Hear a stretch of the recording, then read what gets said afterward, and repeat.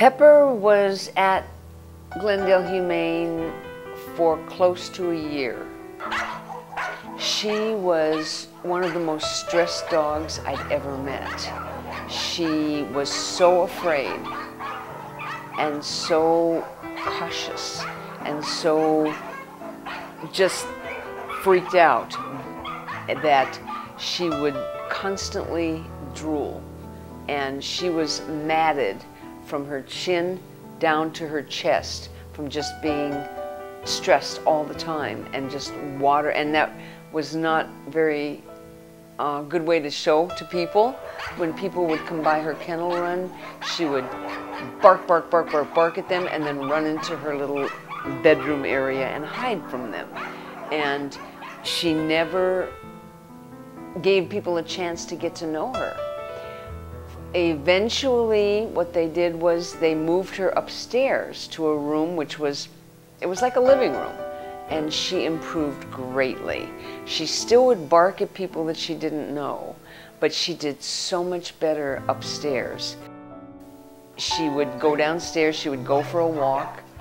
Now oftentimes she wouldn't walk because she was so freaked out that you could get her on the leash, you could get her downstairs, and she would get to the near the door where she was going to go out, and she would sit down and she wouldn't go any further. She would not move.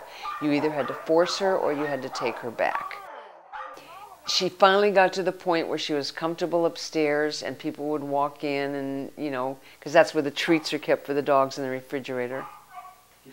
And eventually, it was let's try her with another dog and there's a dog named Vegas who's a beagle mix.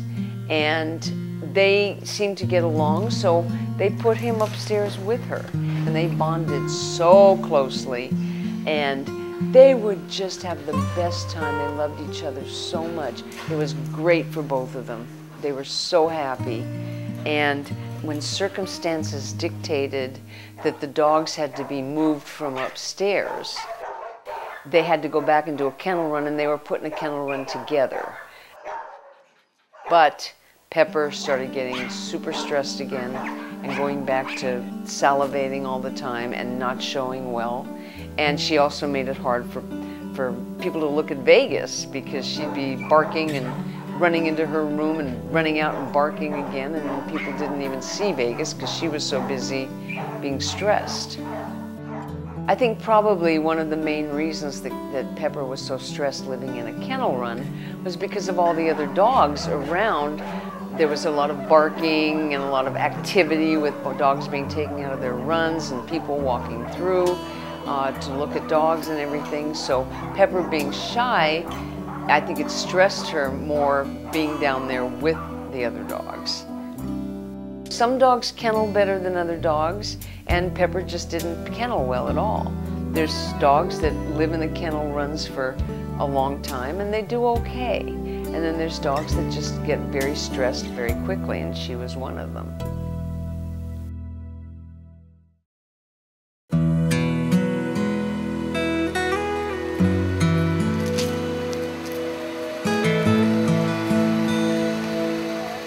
The minute I pulled the car into my backyard and got home with Pepper in the car. She looked out, her eyes got huge, her mouth opened.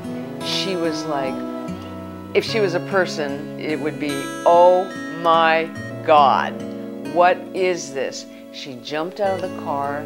She very slowly walked around the yard, checking out everything she was so happy. I mean, she wasn't she wasn't like running around like a crazy little girl. She was like savoring every second of walking around outside free in grass and you know, I mean, it's quite different than just going for a walk.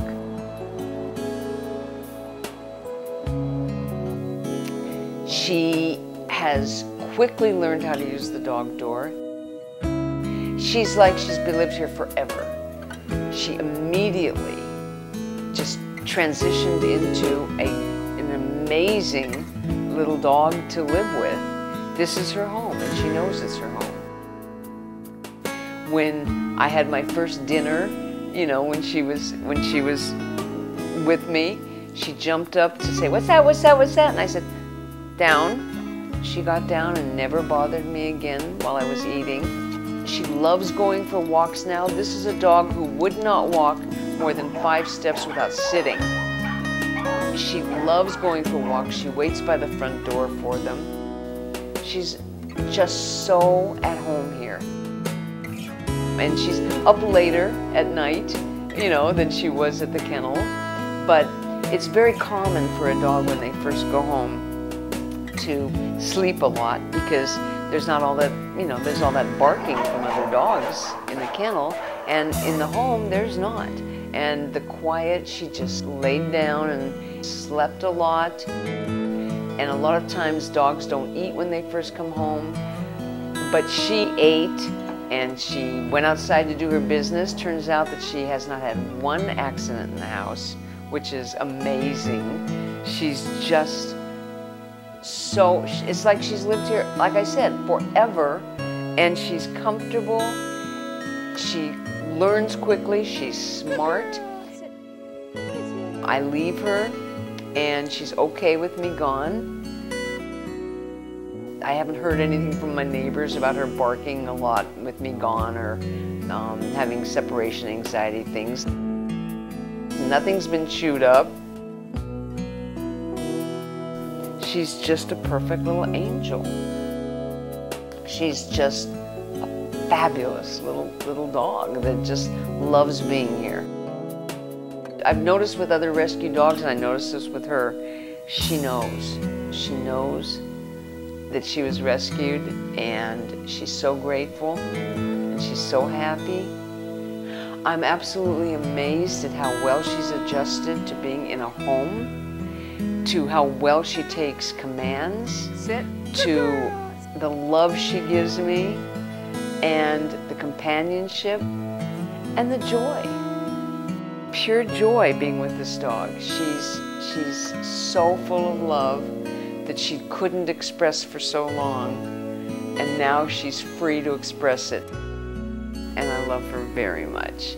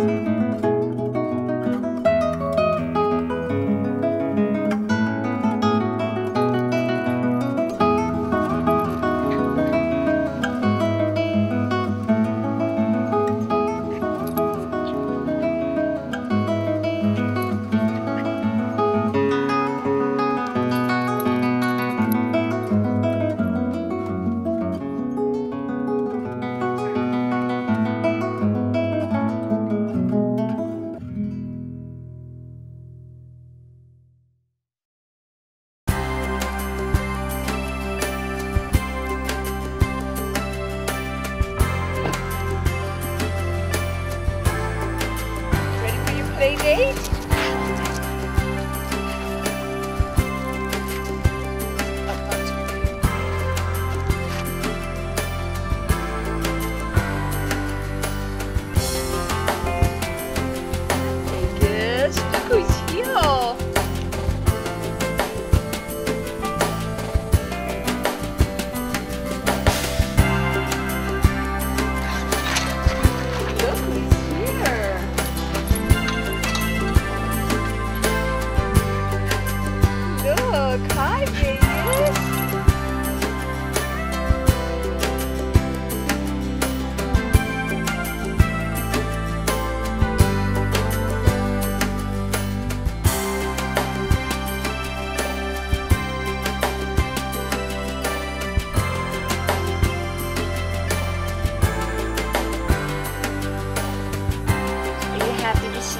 love. She's very happy.